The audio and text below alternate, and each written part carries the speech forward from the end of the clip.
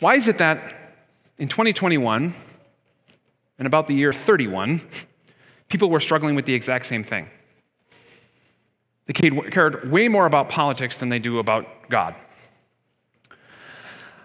I think the answer for us is right in the text. Remember what was on that denarius that Jesus picked up? Tiberius Caesar, son of the god Augustus, high priest. In Rome, the theological leader was also the political leader of the nation. The emperor was, well, like the coin says, considered a son of the gods, basically divinity and humanity connected. And because of that, all of Roman religion, if you want to call it that, went through the emperor.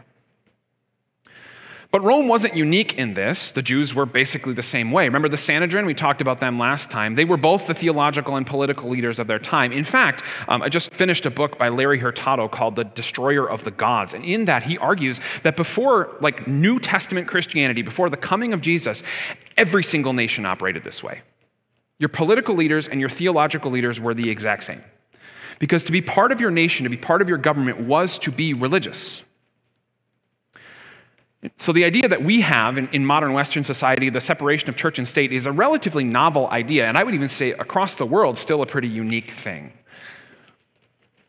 The problem is, I think we forget that that's the natural way that human beings have always operated, and so, in a sense, we tend to regress back to the mean, if you will.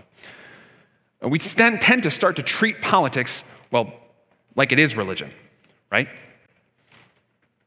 Maybe you don't see this, but uh, as I've been thinking more and more about the political issues that our, our, our, country is going through and the world is going through, I can't help myself but, but notice that time and again, politics looks exactly like religion. Have you ever noticed this?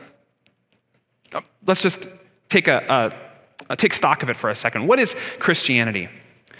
Uh, Christianity is a high power who sends you a messenger, Jesus who, if you listen to him and follow him and what he says, he will lead you to a utopia, we call it heaven, that along the way, that's going to require some sacrifices of you. We would call them offerings, time, service.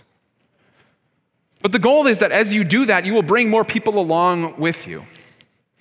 To get there, you have the support of preachers, pastors, who remind you of the values of the messenger and of the higher power so that you can be more and more convinced that what you believe is true and helpful for your life and for your eternity. What is politics? A higher power, we would call them the party, who sends you a messenger, we call him maybe the prime minister or the leader, who will give you a message about how if you follow him and listen to him, he's going to lead you to some sort of utopia, Depends on which party you're following, but they'll give you that picture, that image. A world like this.